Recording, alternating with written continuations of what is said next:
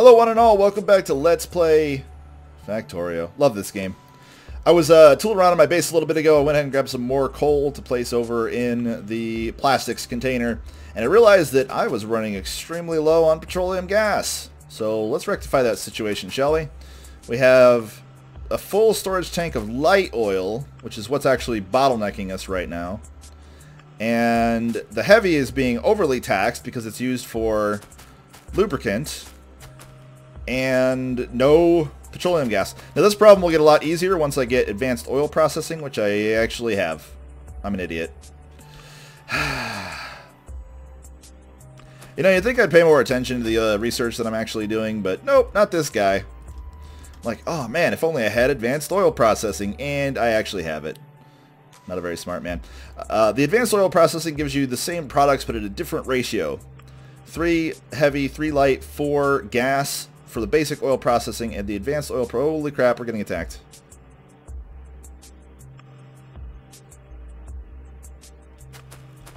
Let's go defend ourselves. I have no piercing ammo, I think, in these turrets. So, looks like it wasn't that much of an attack, but could get kind of scary. Um, yeah, let's give these guys some piercing ammo. Gonna need to make some more too, but there we go. Problem solved for now, hopefully. Make some more of that. And I'll make a couple laser turrets while I'm at it. Anyway. So yes, I'm a genius. I guess that's what I get for not having played this for, you know, like a week or two on this run through, on this playthrough. So let's clear out this pipe here and get ourselves a water pump. Where are we with the pumps? Pump, pump, pump, pump, pump, pump, pump, pump. There it is. Offshore pump. Give me and we will get the water hooked up momentarily.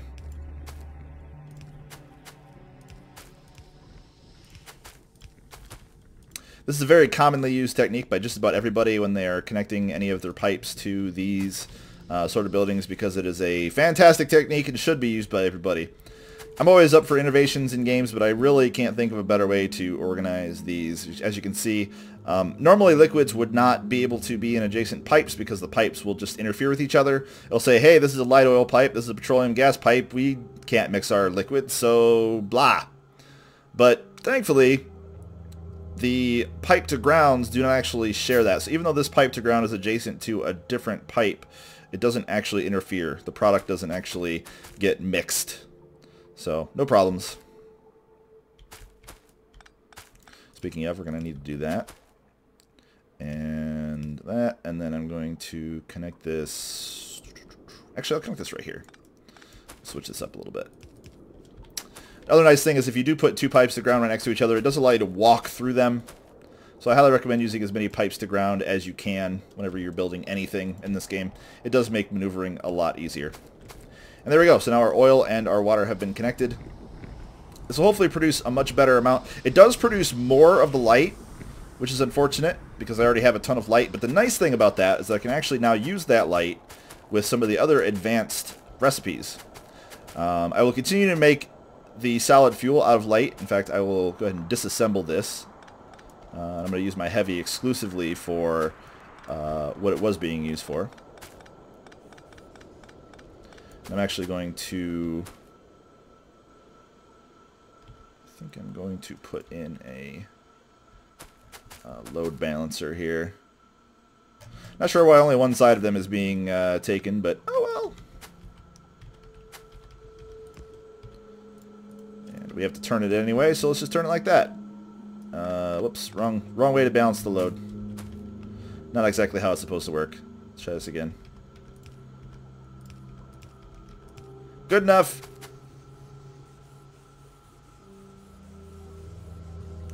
Excellent. So I will hopefully start using my light a little bit more. And then I need to be able to crack light into petroleum gas. As that is very important for the manufacture of just about everything, actually. That's cool. So we're going to put that up here, I guess. I didn't really plan out for a lot of space. I think I was going to put a lot of the stuff below which would work, except that I kind of jammed up this area with nothing but uh, solid fuel plants. So for now, we'll just do it right here. Not a big deal. Um, let me see what the actual orientation is. Because you need water and light oil, and you can't switch which of the two ports they come out of. So you have to you have to sort of plan ahead for that, unfortunately. Actually, you know what we can do? We can do it like this. This is actually better.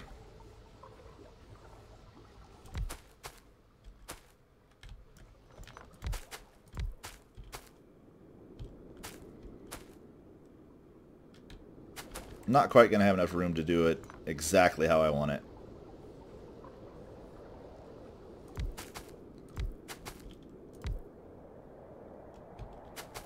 think this will work.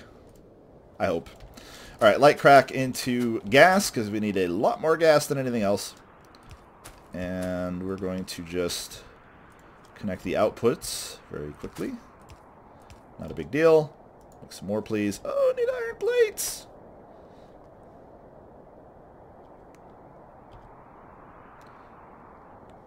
You know, watching these uh, things with a little, you know, oranged out or tanned out clock, if you can say that, in the corner, It really reminds me of Red Alert. Actually, a lot of this game reminds me of Red Alert. Just the graphics of it, uh, and just I don't know, showing my showing my age, I suppose, but that's what I see. It's like a gamer Rorschach test. Except instead of grayish blobs, I see red alert everywhere.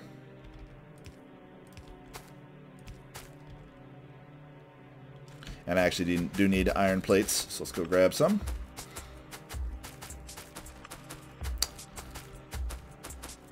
Need to set up some radars as well to start scanning some of these outer sectors to make sure that I'm not getting uh, too many horrible enemy attacks coming after me. Could just grab some of these pipes, I suppose.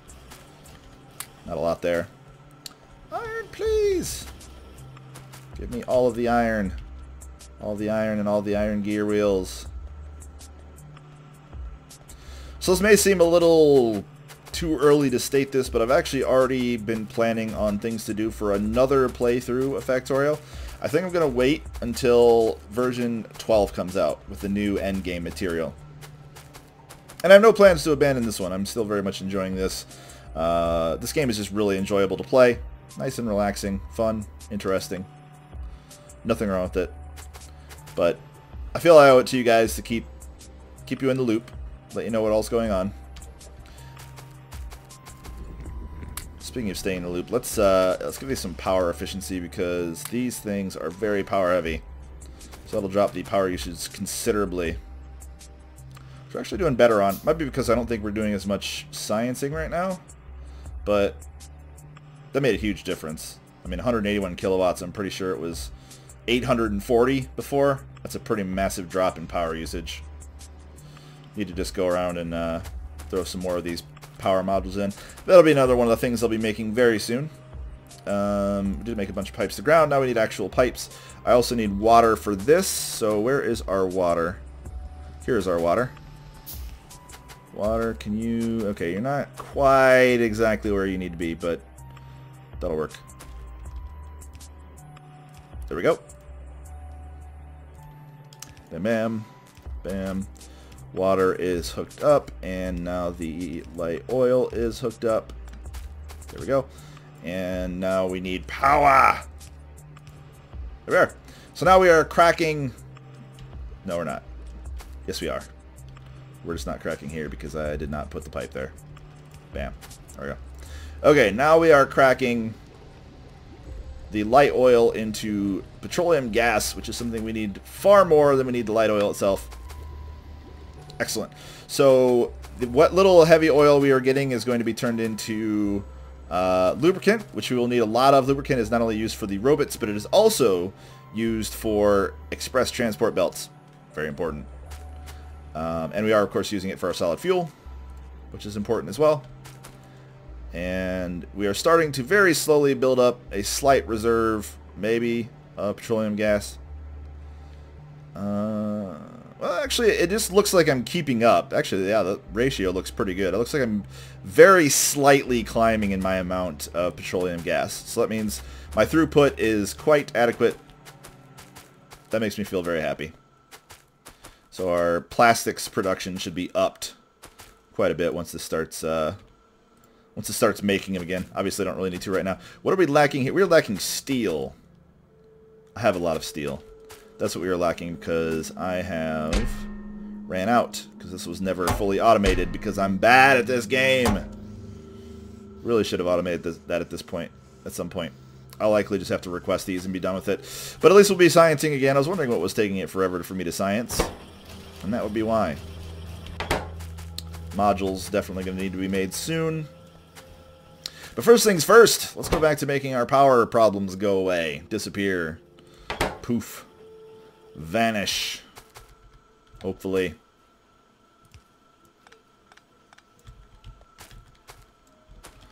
And we need some extendo arms. Excellent. And there we go. Basic accumulators. You guys are going to be placing these into a... Hmm. Do I to place them into a storage chest or a passive provider? I think I want to put them into a passive provider. That means that if I request them, the logistics robots will be like, Alright, bro, I got that. Not even a problem. Not even a problem. So little of a problem that it's not even problem. I'm good at Englishness. Okay, so now we'll be cranking these out. By cranking, I mean actually not really cranking, but, you know, producing them well enough.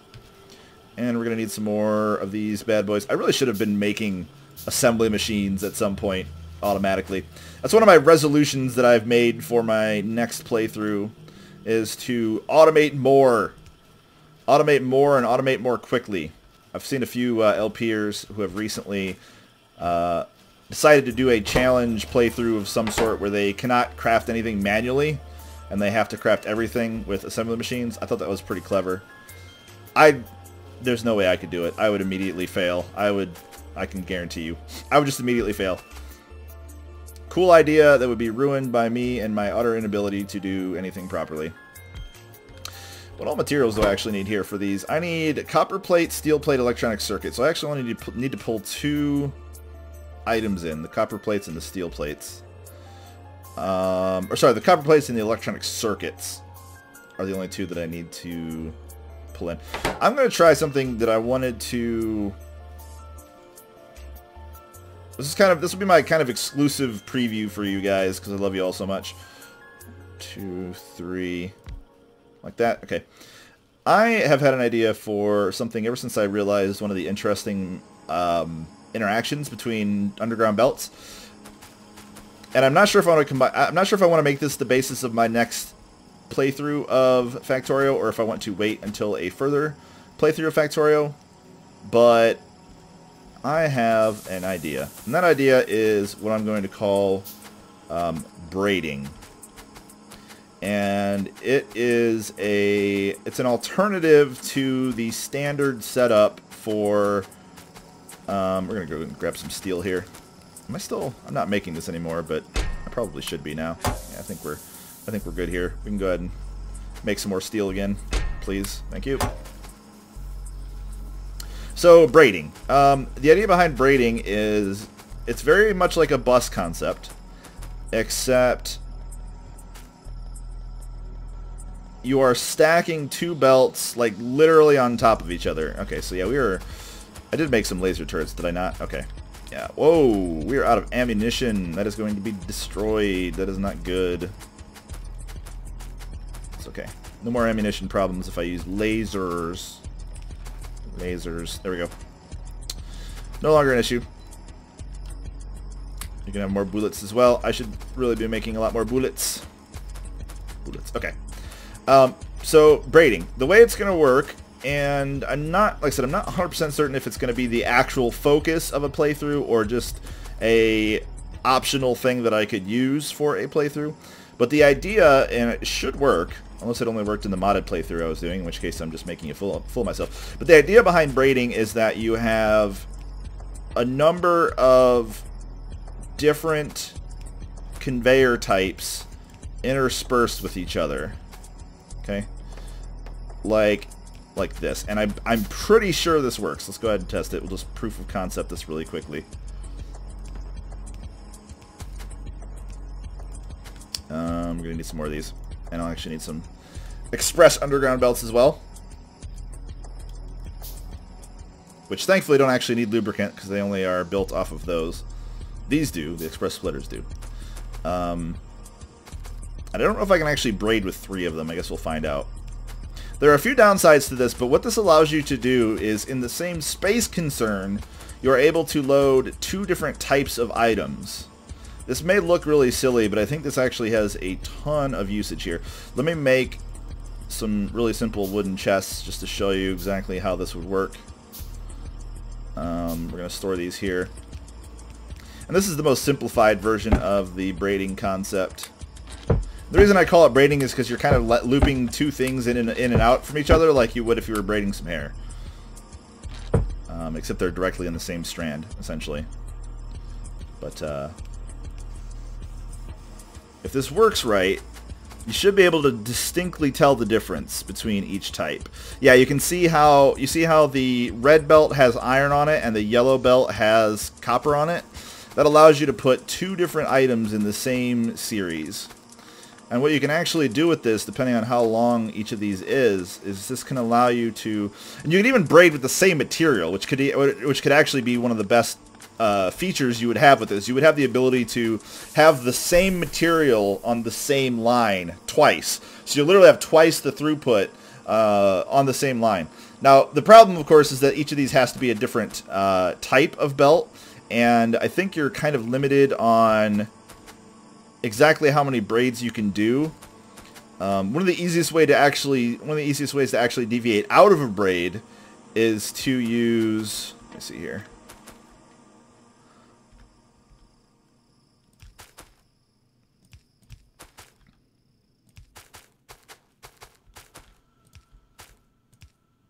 Is that good? I think that's good. Um, one of the easiest ways to get out of a braid would be to use splitters. So there we go. So this is a this is a three three colored braid.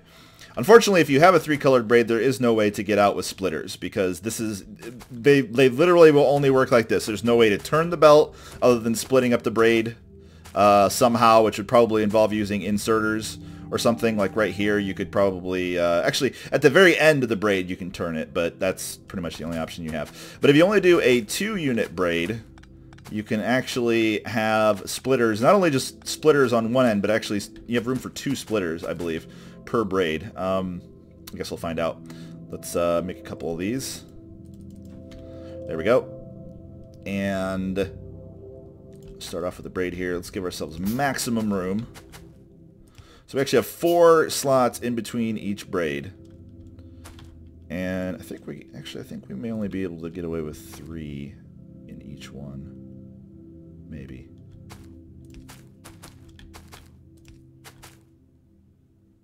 Oh no, we're good. Okay. So right now, so what I'm doing here is I'm setting up the initial braid. It's kind of hard to follow if you're, if you, especially if you're not super familiar with Factorio. This is probably a little overwhelming for you, and it's something I'm not even really sure I'm going to completely grasp here. If you can hopefully see what I'm doing here,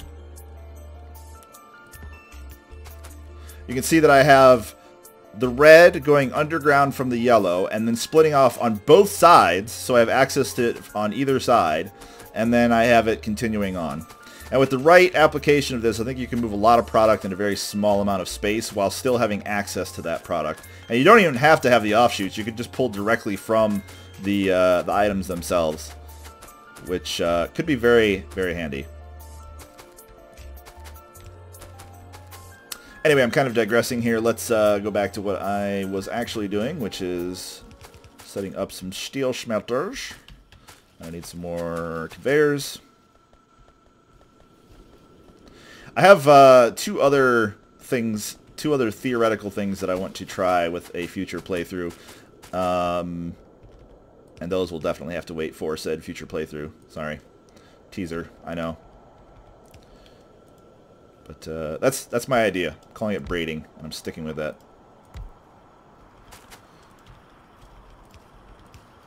Okay, so we're going to be smelting some iron right here. I likely don't actually have to use the reds in the corners to keep the compression, but I think it looks nicer too, so why not?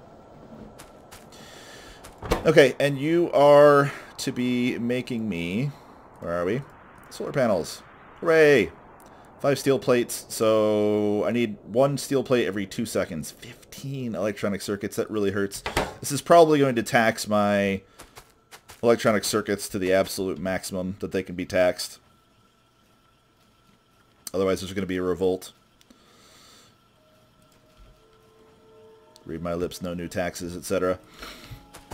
And we also need the copper. So I'm actually going to do, I'm actually going to braid this like I just uh, just mentioned. So we're, we're just gonna I'm just gonna braid it, maybe, if I can get it to work properly. I hmm. They're actually a little too close to each other, so I'm gonna have to do something a little, a little jankier.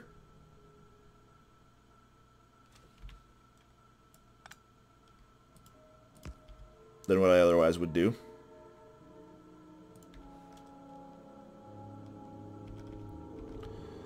So what if I do this? Okay, and then I need to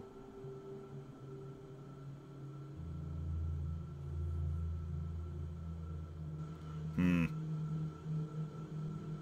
I think I can actually get away with this by using a different sort of braid. You know what? This is a little, it's a little too space uh, space limited here. Let's see if I can't um, get this worked out a little bit better.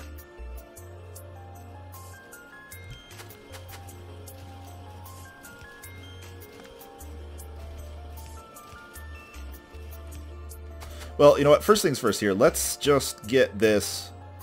Let's just get one of these set up. And then I can build the other one based off of that. I get it in my head sometimes too much where I, I want to build both parts of a single thing at the exact same time, and I never end up getting it done optimally because I end up getting overwhelmed. I'm like, well, I'm trying to build this thing all at once instead of in individual parts, and now I'm getting frustrated. So that's not good.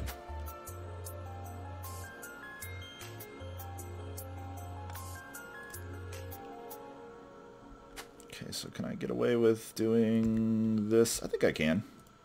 I'm pretty sure I can. So we're just going to do this. I actually should get this backwards because I need more of the circuits uh, than the copper. So I'm going to be using the uh, regular underground belts.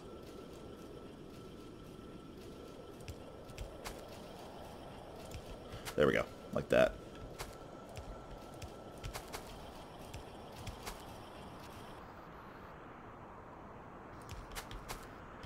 There we go. And I'm likely going to need fast inserters for this, actually. So let's make some of those.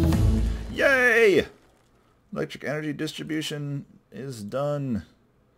Character logistics slots, automation 3. Lots of cool stuff. Um, we're going to go ahead and get logistics robot speed. I need much faster robots. The speed of these robots is too damn low.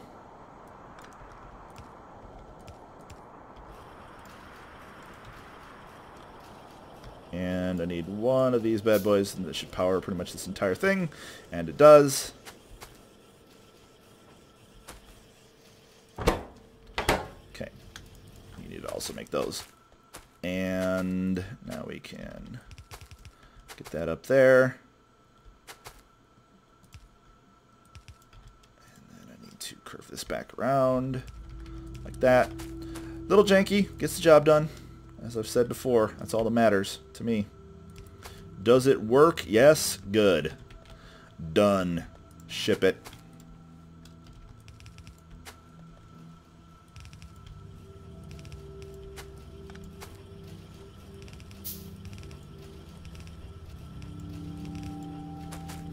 There we go.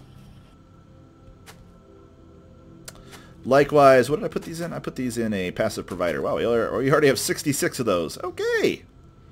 All right. Passive provider, please.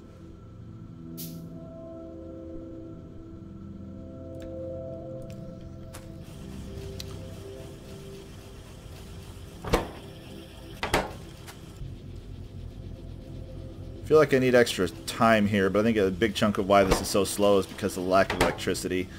I think that's what's really doing this in. I actually need to expand my logistics network as well. The uh, orange part is the only part that's actually part of this network right here, unfortunately. So let's uh, whoop, get these extended over here. So I've actually gone a little bit over on time this episode, but that's okay. I blame my little digression there where I was talking about random crap that doesn't matter. Pretty typical of me. So I hope you may forgive me. You can forgive me for going a little bit over on this episode of Let's Play Factorio. I hope you enjoyed, and I'll see you next time.